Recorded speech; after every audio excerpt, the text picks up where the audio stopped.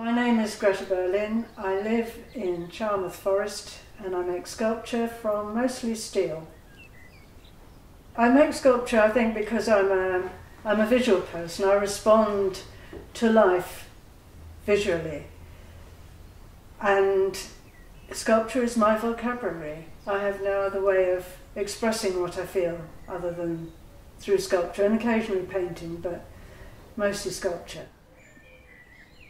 I've always lived in isolated places, and that's where I feel most comfortable, where I can express myself through my work. That's a, the irony of, of my work. It is about people, and yet I don't have a lot to do with people. I think I'm an observer. Um, I can spend a day looking into a pond, but it doesn't reflect in my work at all. My work is all to do with the trouble out there in the world. I think my isolation, my self imposed isolation, is because I'm terrified of what's going on in the world. The, the, the way people are suffering from the cruelty of our fellow man.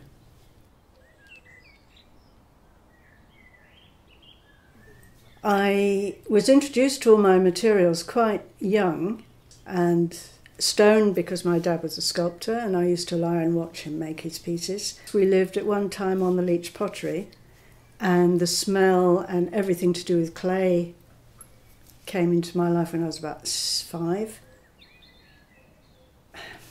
I'll, I might see a shadow or a photograph or somebody doing something or hear a piece of news and it's like a shutter goes off in my head and I have an image pretty much finished in my mind. And then, I mean, it's as basic as the first piece of steel you put on the plate, weld on the plate, which is going to be, say, the leg, has to be at the right angle, and you build on that, it's constructed. Very different from stone, which is take away. All the stuff I do now is constructed, and um, it's fast and furious, and I can cut and change as I go along.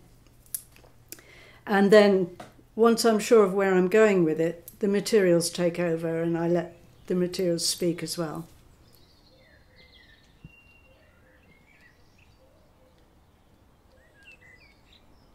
Yes, I'm including uh, Fish Boy. Uh, skateboarder is also in it. These are both steel pieces about youth and energy. And I'm also showing Lost Identity,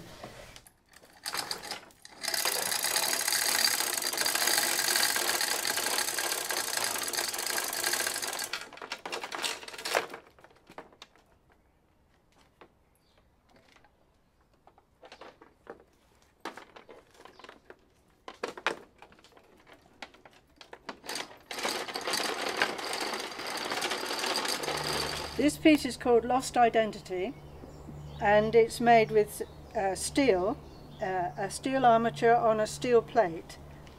And when the armature was finished, I had it galvanized, which you can see here, the silvery, and that's to stop it going rusty.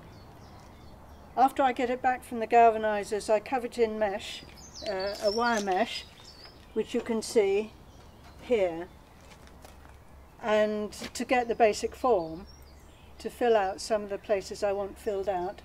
And then I cover it in a scrim that's soaked in jesmonite and the scrim is fiberglass. So I've very much left the texture of the fiberglass tearing um, in a thin mix of jesmonite and in some places like on the face I've used a thicker mix of jesmonite to get the features. I really love this group of hands. Um, her hands are here and here, shielding her face, and here's an arm coming round from the man comforting her or protecting her. And this is a group of three people huddled under a blanket, so they're like joined by this membrane, and the, the wind is blowing them in the back, so the blanket is pushed close against their bodies so the body is revealed. Uh, but as you walk round the front, you see the materials are torn across their front, so they you can see into their bodies, and the tearing is to indicate how they've lost everything. it's been a long one, this one. It's taken me longer than almost any piece I've ever done. It's taken about six months. And it started from a photograph in the newspaper of people being covering covering themselves with a shroud during a dust storm. And it addresses directly the migrant crisis at the moment.